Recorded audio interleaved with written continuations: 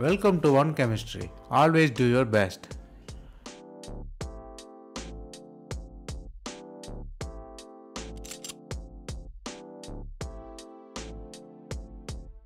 Now let's see important concept how to answer the MCQs multiple choice question.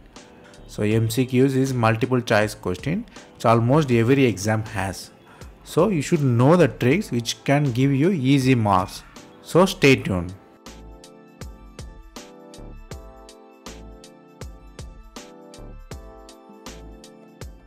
Let's see the first trick. The all of the above most of the time never be an answer. Let us see why. Suppose we have a question Who is the father of India? This is a very common question everybody knows but let us pretend that we don't know.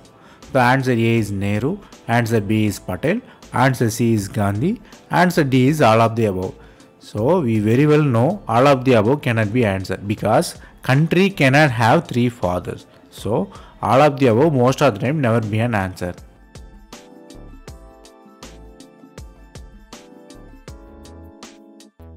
Let's see the second trick. Again the same question. Who is the father of India? The options are same. A. Nehru, B. Patel, C. Gandhi and D. None of the above. You just think that country should have somebody as a father of India. So none of the above also cannot be an answer most of the time. So you can easily neglect none of the above cannot be an answer.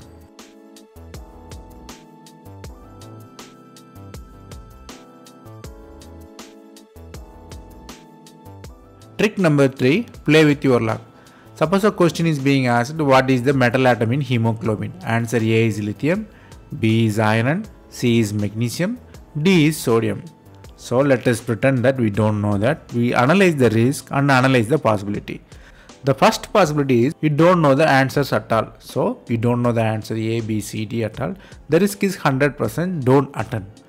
Suppose you know that one of the answer is not correct. So which is D is not correct because sodium is in the pumping of the blood. So it cannot have in the hemoglobin. So D cannot be correct. In that case also you don't attempt because risk is 75 percent don't attempt suppose you somehow you know two answers are not correct. So how will you decide? That case risk will be 50 percent. This is very interesting case okay?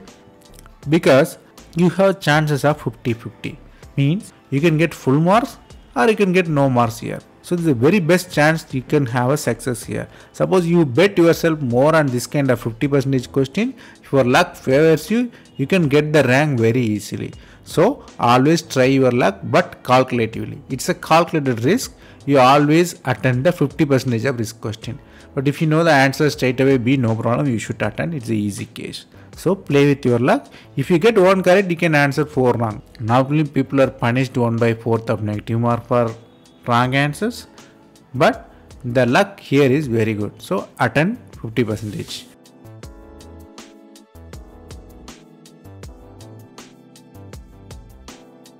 Trick number 4 use your common sense.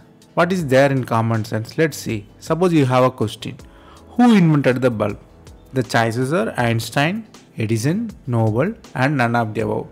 We can guess that none of the above most of the time not an answer so we'll leave it so we have choice between A, B and C. A is Einstein. We know that bulb is a product. Einstein is a scientist. So scientists never work on the product most of the time. So bulb scientist doesn't match. So Einstein cannot have an answer. Similarly, Nobel. Bulb is the commercial one. Okay. Albert Nobel guys donated a lot of money for the charity. So most of the time Nobel cannot be an answer because Nobel do for service not for the product development. So c cannot be an answer. So the remaining answer is b. So the answer is edison here we solve merely by common sense. We don't know anything just we know by our understanding. So use your common sense always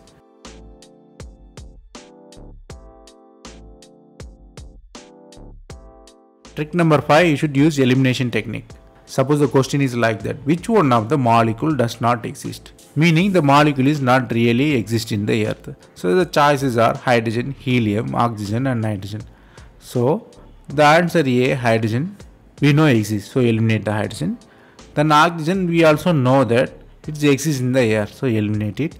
Similarly nitrogen also exists in the air so eliminate it. So we eliminate all three answers but we don't know the B is there or not, but it's the only possibility is there. So the B should be the correct answer. How we get into that answer? By our elimination technique. We eliminate A cannot be, C cannot be and D cannot be. So the answer will be B helium.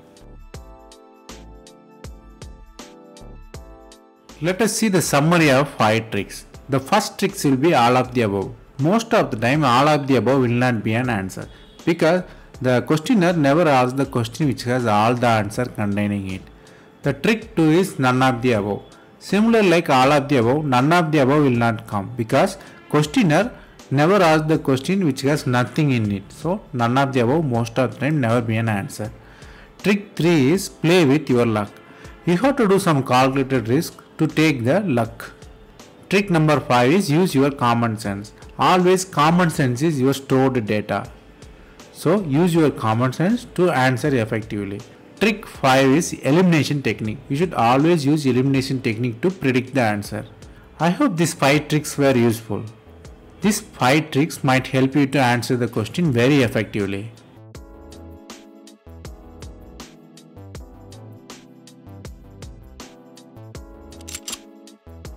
That's all from me today. Thanks for watching. If you have any suggestion, comment below.